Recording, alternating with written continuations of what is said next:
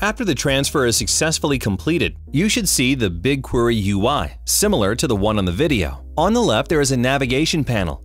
You can see your project under the Resources tab. Click the drop-down arrow to expand the project and you will see the data sets that are available. I want to see Google Ads campaign data, so I can find the relevant dataset and choose a table from the list.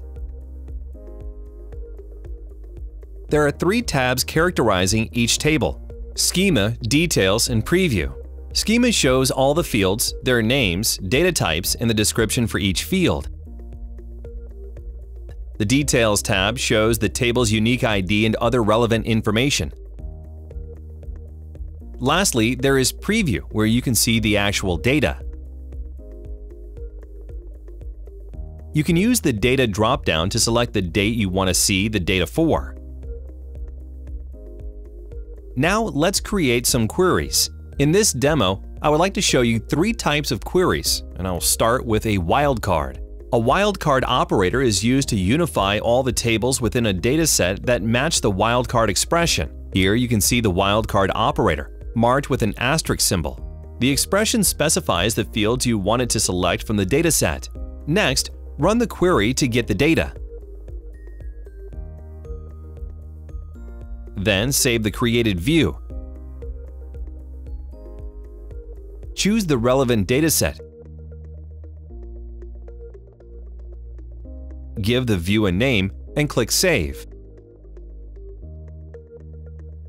Now, let's say you would like to combine the data from two datasets. For that, you need to use the union operator. In this example, let's combine the data from Google Ads and Facebook Ads. First, I click Compose New Query. Let's choose data source, campaign name, clicks, and combine this data from both tables, Google Ads and Facebook Ads. You can see the expression on the screen. Next, run the query. Now you can see the data from both Facebook Ads and Google Ads. Another query type I want to show is data partitioning. You use this type when you want to extract the data for a limited date range, for example. For that, you would need to use a wildcard operator and a table suffix. Here, I would like to see the campaign name, clicks and impressions fields from the dataset, using a wildcard operator where the table suffix matches the specified dates. In my case, I would like to see the data only for the 14th and the 15th of April. I include the date field as well. Next, I will run the query. After the query is completed, I can see the results for the 14th and the 15th just as I specified. Lastly, I would like to show you how to export your view to Google Data Studio. After you've saved your view, you can create visualization of it. To do so, click Export on the right. Choose Explore with Data Studio from the drop-down menu. Next, the data will start to load. You can see all the fields on the right, for example, campaign name, data source name, clicks, record count.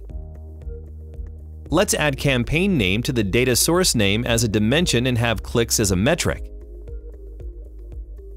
Now there is a table which includes two data sources. There are campaign names and clicks.